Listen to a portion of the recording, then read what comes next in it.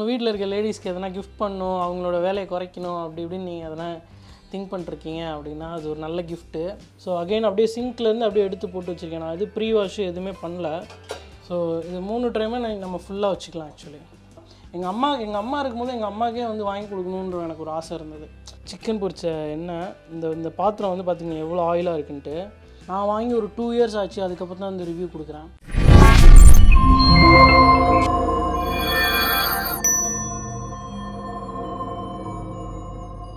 Hi guys!